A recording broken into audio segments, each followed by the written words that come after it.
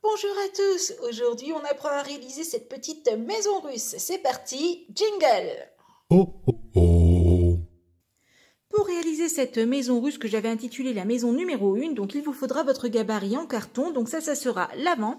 Ici c'est un soubassement que l'on va effectuer avec des gros bâtonnets type glace. Et euh, l'autre euh, l'autre partie de la maison, ça sera effectué avec les bâtonnets type touillette. Voilà. Euh, donc ça c'est l'avant, ça sera l'arrière comme ça. Ça sera l'arrière de la maison. Vous voyez, j'ai tiré le trait de mon soubassement. Comme ça, je suis tranquille, j'ai la bonne, j'ai la bonne cote. Et ça sera le côté, pareil, avec le trait tiré du soubassement. Alors, euh, vous connaissez l'astuce, euh, si vous avez déjà vu le tutoriel de l'autre maison.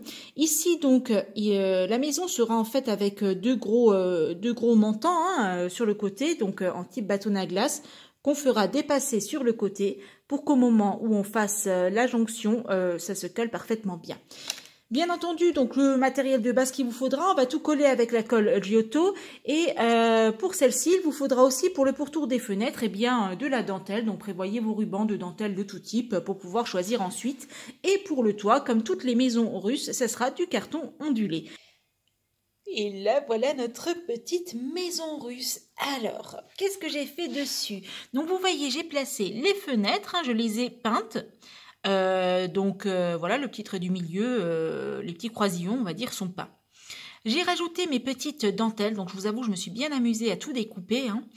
le toit, comme toutes les maisons russes, hein, le toit il sera en carton ondulé. Donc sur le côté, il y a une petite fenêtre par là, hop.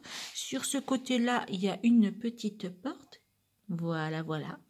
Eh bien, écoutez, moi, cette petite maison russe me plaît beaucoup, hein, toute, euh, toute verte, euh, je l'aime beaucoup. Alors, euh, je vais juste, ah bah oui, je vais juste la mettre à côté de sa petite copine, comme ça, on va pouvoir, on va pouvoir les comparer un peu. Voilà pour info, la petite copine qui est toute de bleu bleu vêtu. Donc euh, elles sont quand même assez différentes et en même temps elles se ressemblent beaucoup ces petites maisons russes. Donc logiquement il devrait encore y en avoir une voire deux dans euh, cette série et euh, ensuite eh bien j'espère pouvoir les aménager un peu d'une façon assez agréable dans mon futur village et peut-être je fabriquer des petites plateformes pour certaines d'entre elles et je vous donne rendez-vous très très vite. Si cette vidéo vous a plu, abonnez-vous. C'est juste là en dessous, un petit clic, on active la petite cloche et on reçoit toutes les notifications sur son mail pour qu'on se retrouve très très vite sur une prochaine vidéo.